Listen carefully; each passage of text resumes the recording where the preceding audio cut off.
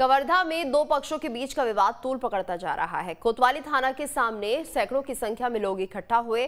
पूरा शहर छावनी में तब्दील है। दूसरे ज़िले से भी 500 फोर्स कवर्धा पहुँची।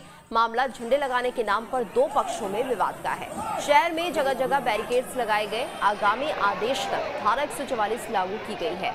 घटना सिटी कोतवाली के लोहारा नाके की है। कवर्धा में जिला प्रशासन ने तनाव को देखते हुए सभी स्कूल और कॉलेज को बंद करने का निर्देश दिया है।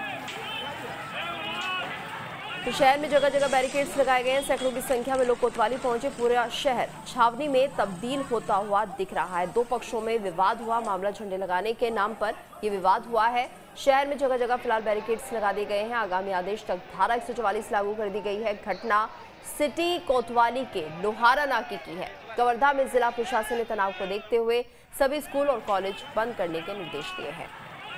तो कवर्धा का ये मामला जहाँ पर झंडे लगाने को लेकर ये पूरा विवाद हुआ। दो पक्षों के बीच पथराव और मारपीट का मामला सामने आया। बताया जा रहा है कि झंडा लगाने को लेकर दो विशेष समुदाय के लोगों में कहा सुनी शुरू हो गई और देखते ही देखते विवाद बढ़ गया।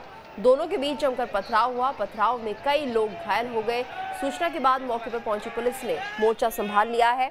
लोहारा नाका चौक से एकता चौक तक भारी संख्या में पुलिस बलों की तैनाती कर दी गई है।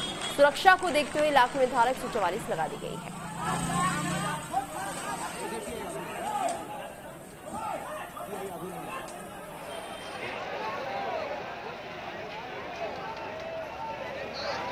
मौके पर भारी पुलिस बल तैनात कर दिया गया है। कवर्धा से खबर जहाँ पर झंडा लगाने को लेकर पथराव हुआ है। दो विशेष समुदाय आमने सामने हुए। अभी धारा एक सौ चौवालीस वहाँ पर लगाई गई है। इसके साथ साथ स्कूल, कॉलेज बंद करने के निर्देश भी दिए गए हैं। मौके पर भारी पुलिस बल तैनात किया गया है। झंडा लगाने को लेकर दो विशिष्ट समुदाय में विवाद हुआ, जिसके बाद यहाँ पर तनाव की स्थिति बन गई और इसके चलते धारा एक लगानी पड़ी। माहौल काफ़ी गर्म होता देख यहाँ पर पुलिस बल मौके पर पहुँचा हुआ है, तैनाती की हुई है। दो पक्षों में पथराव तक हुआ यहाँ पर, कई लोग घायल भी हो गए हैं, जिसके बाद फ़िलहाल इलाके में धारा एक लगाई गई है। भारी पुलिस बल मौके पर मौजूद है, इसके साथ साथ स्कूल, कॉलेज बंद करने के निर्देश भी दे दिए गए हैं। तो दो विशेष समुदाय आमने सामने, कवर्धा से खबर जहाँ पर झंडा लगाने की बात को लेकर ये पूरा विवाद हुआ, जिसके बाद मामले ने इतना तूल पकड़ा कि नौबत। यहाँ पर मारपीट तक पहुँची, एक दूसरे पर पथराव किया गया, कई लोग घायल भी हुए, जिसके बाद इलाके में धारा एक लगा दी गई है।